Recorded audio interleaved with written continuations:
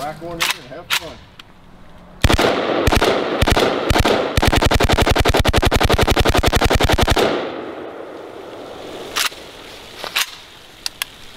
Oh, thank you, sir.